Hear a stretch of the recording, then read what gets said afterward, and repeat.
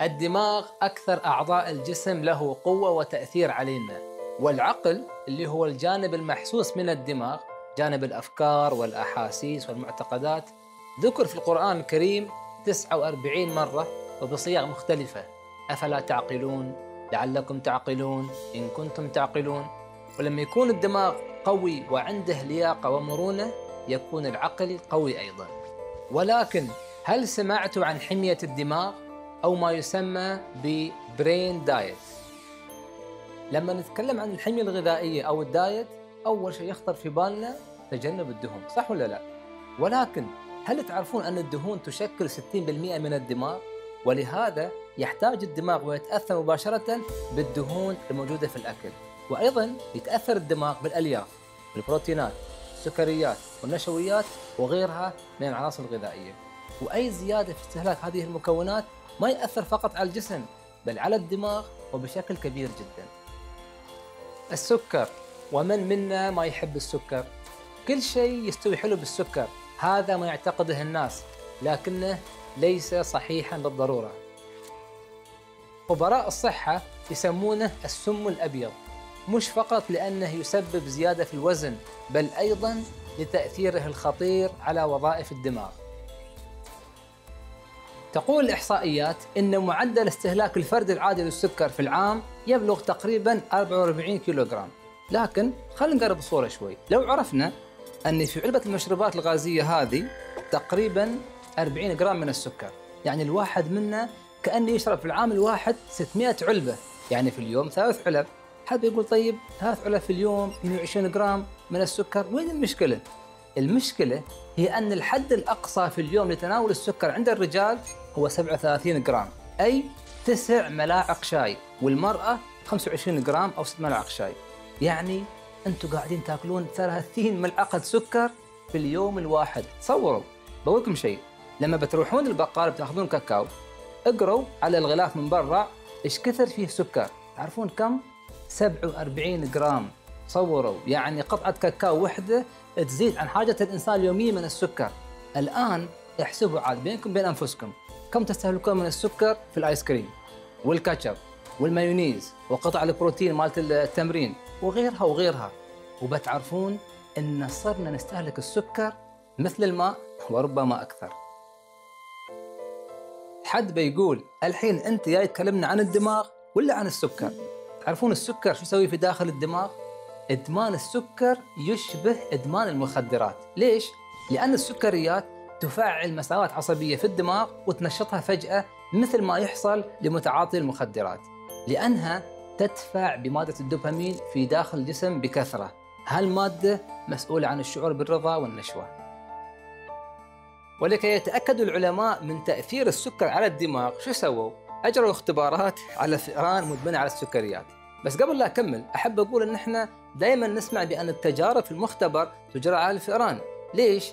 لأن الفئران في تركيبتها البيولوجية قريبة من تركيبة الإنسان إلى جانب طبعا سهولة التعامل معها. عموما لما قطعوا وجبات السكر عن الفئران أظهرت أعراض مشابهة كثيرا لأعراض المدمنين على المخدرات مثل شو؟ القلق والاكتئاب والارتجاف وأعراض أخرى كثيرة. وما له داعي أخبركم عن الإرهاق اللي يسببه السكر للكبد والقلب ومساهمته أيضا في نمو الأورام السرطانية وأشياء كثيرة أخرى. العلاقة ما بين الدماغ والأكل ما تتأثر فقط بنوع الطعام اللي ناكله بل أيضا بصحة الجهاز العصبي الموجود في داخل جهازنا الهضمي اللي يسمونه العلماء الدماغ الثاني. سر هذه التسمية يعود إلى أن الجهاز الهضمي يحتوي على أكثر من 100 مليون خلية عصبية وأكثر تكتل لهذه الخلايا موجود في داخل المعدة. والعجيب في الأمر أن كثير من الأبحاث والدراسات تشير إلى أن الدماغ الثاني في المعدة يؤثر بشكل كبير جدا على حالة الإنسان العقلية وبالتالي النفسية. و90% من تدفق الإشارات العصبية بين الدماغ الثاني في المعدة والدماغ الأول في الرأس قادمة من المعدة. وهذا دليل قاطع على أن اضطرابات المعدة من الأغذية غير الصحية طبعا راح تؤدي إلى اضطرابات في وظائف الدماغ. من ساعة ما يقوم الإنسان من النوم إلى نهاية اليوم وهو ياكل. فطور وغدا وعشاء وبينهم وجبات خفيفة وحلويات وغيرها. لكن هل تعرفون أن الجهاز الهضمي ما يشتغل بروحه؟ بل تساعد في عملية الهضم مليارات الخلايا البكتيرية اللي فوق عددها عدد الخلايا العصبية في داخل الجهاز الهضمي. هالبكتيريا لا ترى بالعين المجردة لكن لا تستهين فيها أبدا.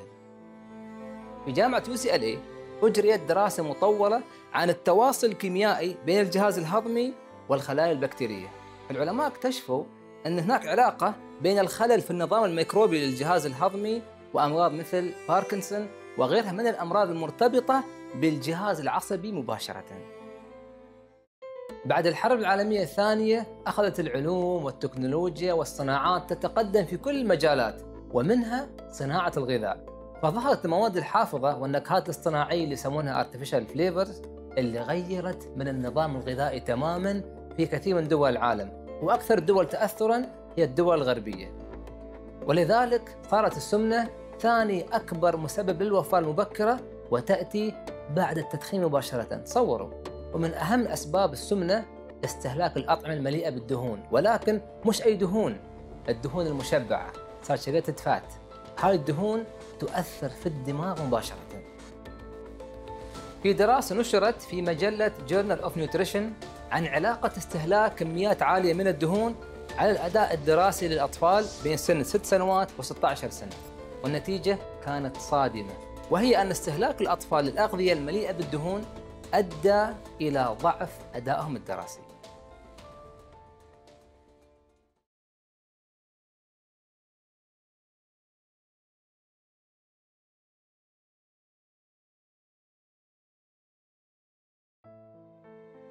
في العالم اليوم أكثر من 600 مليون إنسان يعانون من السمنة بحسب إحصائيات منظمة الصحة العالمية.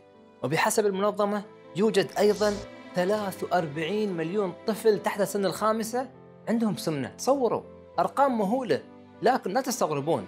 فهذا الوباء هو نتيجة مباشرة لانتشار نوع معين من الطعام حول العالم.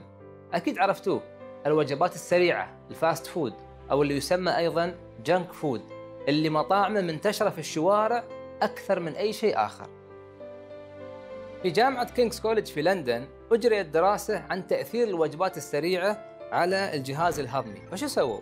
جابوا شخص وخلوا ياكل لعشر أيام وجبات سريعة تعرفون شو صار؟ فقد في عشر أيام فقط ثلث البكتيريا المفيدة في داخل معدته هذا التغير في النظام الميكروبي لأجهزتنا الهضمية يسبب مش فقط اضطرابات نفسية بل أيضا ضعف الذاكرة. لأن 90% من هرمون السيروتونين اللي نقصه مرتبط باضطرابات الجهاز العصبي ينتج من خلال التفاعل ما بين البكتيريا وجدار المعدة. جامعة بيتسبرغ في أمريكا جابوا 20 أمريكي كل أكلهم عبارة عن برجر وبطاطس مقلية. شلوا هذا النظام الغذائي وقاموا يعطونهم خضروات وبقوليات وأسماك. وبعد أسبوعين فقط أسبوعين وجدوا زيادة بنسبة 250% في كمية البكتيريا النافعة في داخل الجسم. هالبكتيريا تنتج حمض يسمى butyrate وهو حمض هام جدا في محاربة السرطان. تعرفون الوجبات السريعة شو تسوي في داخل الدماغ؟ خلينا نشوف. في الدماغ توجد منطقة اسمها hippocampus أو منطقة حصان البحر وهي مسؤولة عن الذكريات مثل ما قلنا في حلقة الذاكرة. ومسؤولة عن التعلم والمشاعر أيضا. الوجبات السريعة تسبب ضمور في هذه المنطقة وبالتالي تظهر على الإنسان اضطرابات نفسية كالقلق والاكتئاب.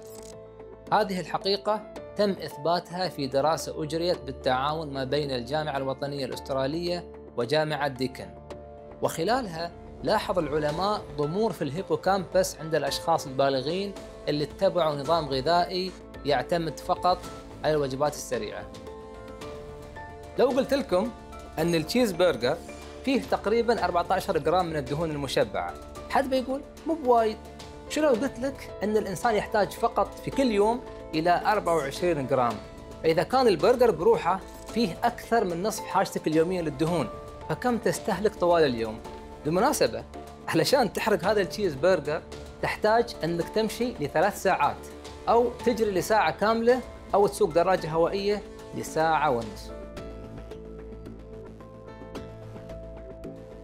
وفي دراسة أخرى أجريت في جامعة بيتسبرغ الأمريكية على مجموعة من الناس يعانون من الاكتئاب وزعوهم إلى مجموعتين.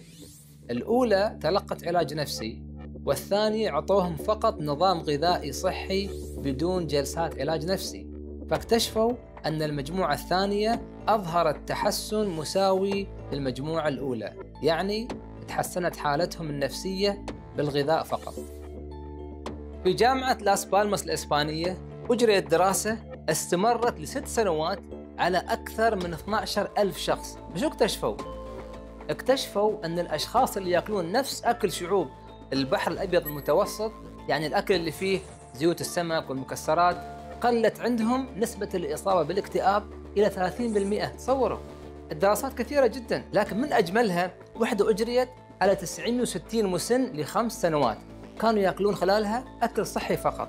فاكتشفوا أن قدراتهم الذهنية تشابه قدرات ناس أصغر عنهم بأكثر من سبع سنوات.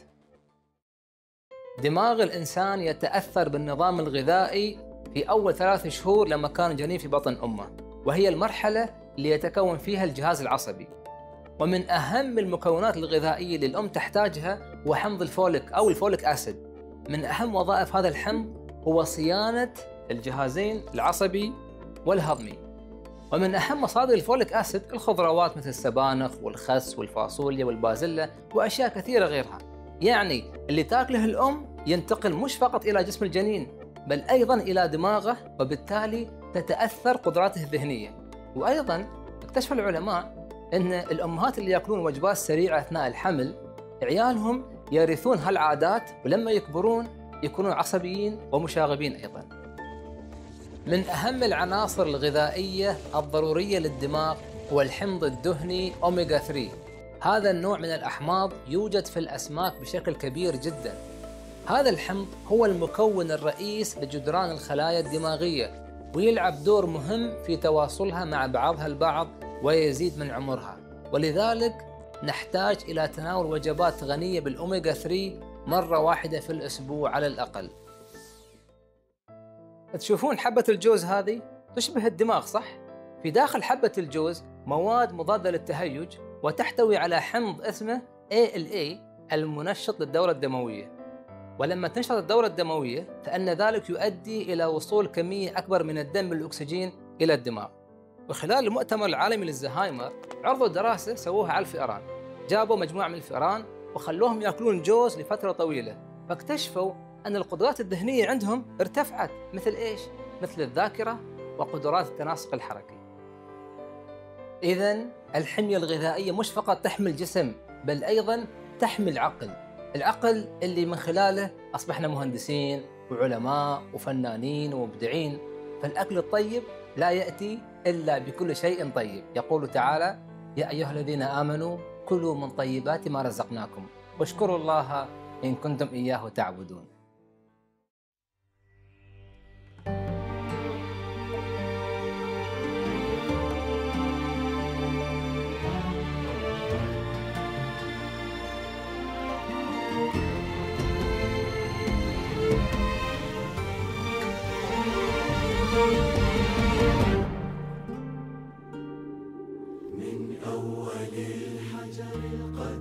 حجر القديم